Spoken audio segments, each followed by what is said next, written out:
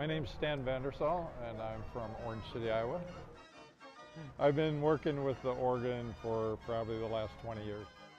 Somebody just asked for a volunteer, and I uh, started helping. And then all of a sudden, the guy in charge says, I'm not doing it anymore. It's your job. I just enjoy the instrument, and the fact that we now have it restored makes it a better machine. And as long as people are enjoying it, I enjoy it. Organ's been around here since 1950. Uh, we got it from uh, Philadelphia, and uh, there was a World's Fair going on. They brought the organ over to Philadelphia from the Netherlands and decided to just get rid of it and junk it. So the uh, people here heard about it and put in a bid and got it. So they sent a truck over and brought it back in 1950 here, and we've had it ever since. It's a calliope organ. It's a street organ. A lot of the calliopes were in Amsterdam, the Netherlands, for years. In fact, they still have them over there. Only over there now, they, they run them with a CD instead of uh, with pipes and, and the mechanics that this one has. It runs with uh, bellows. It can be run mechanically with the handle, or it can be run right now. It's got a two-phase motor, and we uh, run it uh, with a switch. It's, it's like a player piano.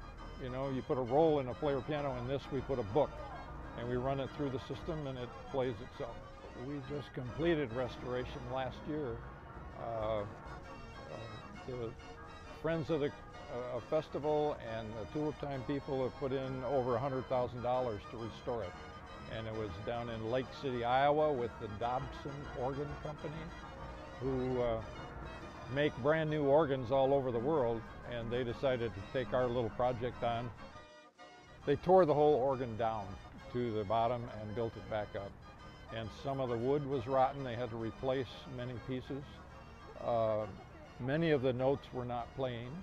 Uh, some of, in fact, many of the uh, springs were broken. So there's just been a, a lot of uh, renewal all the way up to the top. It's a beautiful piece to begin with. I mean, we also uh, had all three of the figures in the front who are movable. Uh, they were all completely redone, repainted, and just the beauty of it, the music that it makes, and we have original Dutch music coming out of that thing. Uh, people just seem to enjoy it.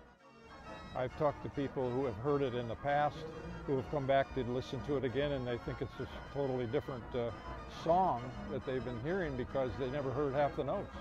And all these notes have been restored, and now we have uh, a better uh, instrument than we've ever had before. It still has its uh, own personality, and there are still notes that aren't so good, but it's, uh, it's doing a whole lot better than it used to be.